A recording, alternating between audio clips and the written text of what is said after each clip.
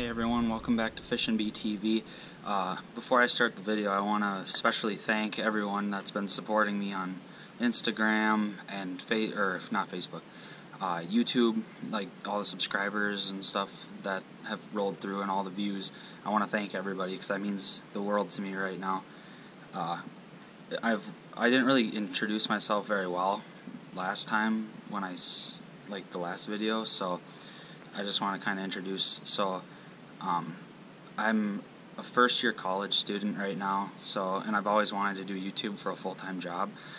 So I figured I would start it now and see how it rolls. And right now, I just the support I've gotten in the past week, not even a week, four or five days, is just amazing. So I want to especially thank everybody for that. It's amazing. Thank you so much.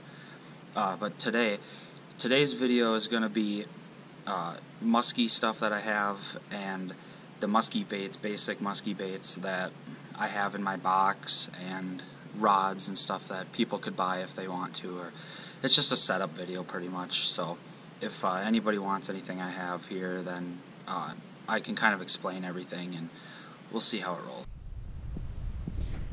All right, welcome back. Um, I am in my garage, so there might be a little bit of an echo but I'm this is the stuff I've got. These are my main rods and my main bag, so I'll show you what's in the bag and I'll also show you what my rods are here. Uh, it's actually pretty simple. So the two rods leaning up against the bag here. This one is a Daiwa uh, Millionaire Reel. It, these are trolling rods really, so they're not very long. I think this one is only, what is this one? It's a Browning rod. It is only five and a half feet, so very small. And this one, I took the reel off of it. This is just a backup trolling rod, but this one is only six feet long, and it's a medium action, so nothing really to these ones. Uh, don't really use them much. Um, then my main gems here. Uh, this one's covered, but this is a St. Croix Triumph rod, seven feet long, so uh, very heavy duty. Uh, the only reason I got a seven foot rod was for traveling uh, because I wanted it in my car. And seven seven feet's really not as easy to break. So then I've got the Abu Garcia uh, Revo Toro Beast. It's the 4.9, I think, 4.9 uh, to 1 gear ratio with a 27 inch retrieval rate for every spin of the spool.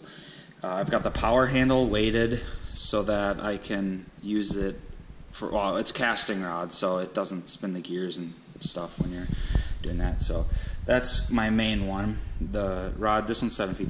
Then this one is a Predator bull, or it's the Predator, but it's a bulldog rod, and this one is a eight foot six.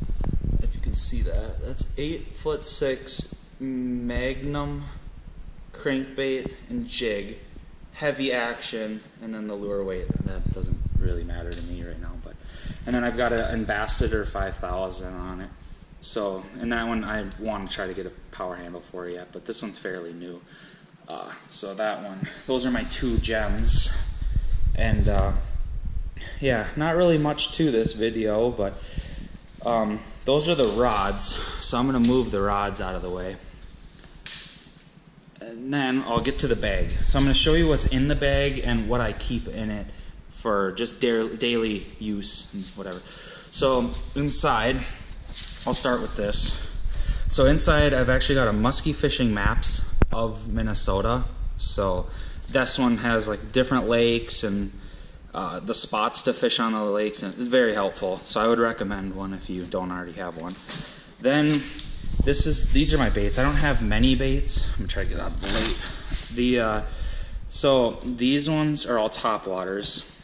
So I've got the uh, I don't exactly. I don't remember what this one was called. This one's old though. That my my grandpa gave me that one. That one just zigzags in the lake. And then I've got a. If I can get it out. Gosh, they're all stuck together. But uh, this is a whopper plopper, so this tail spins and makes noise and stuff. It's those are pretty nice. Then I've got the Jake. I think is it's made by Jake. I'm pretty sure, but it's just a big jerk bait or a big uh, like diver bait. And then I've got different blades. This one is a orange and black skirt with silver. Um, what's it called? Silver blades. Those are very nice. Uh, this one is black on black, black blades or silverish blades, but they're they look black with a black skirt. And then this one is like a perchy color one. It's got the perch color blade with a black blade. Black on black is actually very recommended. I actually like it a lot. And then uh, I got some jerk baits in here, just simple stuff. In here, I've got the believers. very again, Grandpa gave them to me, so they're just kind of memorabilia ones. I just or not memorabilia, but they they just, you know, just kind of keepsake ones. Uh, I've got a spinner bait in here, another nice one to have. And then I've got, if I can get that back in there. Then I've got the Bulldawg. Those are nice. They're just, you know, pounders kind of, in a way, it's like a pounder. And then I've got the Chaos Poseidon, another paddle tail rubber bait, another really nice one. And then this one is a silver and blackish skirt, dual hooks, and this is a 10 for a blades. These are this is a one gold, one silver. Uh, tens are some of the bigger styles you can get, and uh, they they pull water. I mean, tens aren't that bad, but um, if you're a beginner, it, you'll definitely uh, feel it in your shoulder when you're done. But and then I got the side bag here, or the side pouch, and I just keep bug spray. So, you know, it's always good to keep, you know, bug spray, just they're annoying. I got backup hooks, just in case you break one. And these I got six aught, and uh, there's five of them in here. I haven't used them yet, so just in case. I've got an extra sun shield thing or whatever they're called. Just, you know, don't want the sun to kick your butt. Uh, very large pliers. This is very, very important when it comes to musky fishing. Uh, if you don't have long pliers, you're going to end up having to either cut your line or you're going to end up being dumb and shoving your fingers down its throat. And uh, if you end up doing that, you will be getting stitches probably because you know those the teeth on a muskie are no joke. So I would recommend these if you're gonna start musky fishing because you know have fun. If you're gonna shove your hand in it. Then I just got sunflower seeds because I get bored. And then I've got this is another important thing. Uh, good line. I got this is spider uh, SpiderWire 80 pound test. This is I just used as a backer because it was cheap, so I didn't really care. Um, that was on clearance somewhere, but it wasn't that bad. But I recommend Power Pro. Power Pro, Pro 80 pound test is my go-to. Uh, I keep extra in here just in case, you know, you never know when you might need it. Then I just keep a knife in here. It's, uh, you know, just it has it's very sharp too, so just keep it. You know, you want a pretty good knife if you're, you know, just don't be dumb and try to cut something with a because you're dealing with heavy line, so you're going to be putting heavy line with a dull blade. Mm, I don't recommend it. And then I think that's it. The other thing I would recommend if you were going to musky fish would be a file. Um, muskies, every time you catch one, I would recommend sharpening the hooks because you don't want to risk it. Muskies are so finicky the way it is. If you're going to get the chance to hook up on one, make sure it's a good chance. So make sure the hooks are sharp. I do not have my file in here. I actually have no idea where I put it, but um, it should be in here somewhere. But um, just make sure they're sharp. Sharpen it every time you, whatever bait you use, just start a pile in the boat. And when, when you get home, take those, that pile out, sharpen them right away, and then put them back in. And it's a pretty good idea to, before you um, put them back in your box, just dry them off a little bit. Just That's why I make the pile, let them air out and stuff, just so that your box doesn't get all musty and stuff. But um, I think that's probably about it. The other thing I was actually going to point out quick because I forgot to say it in the intro. Uh, I did get the uh, decals put on my car So if you guys see me driving around, or if you you know see that my car parked somewhere and you meet me, uh, come say hi because I'm not a stranger and I would love to meet you guys. So uh, I think it looks really good. Actually, I'm really proud with how this worked out, and the logo looks very nice. The brushstroke font looks amazing.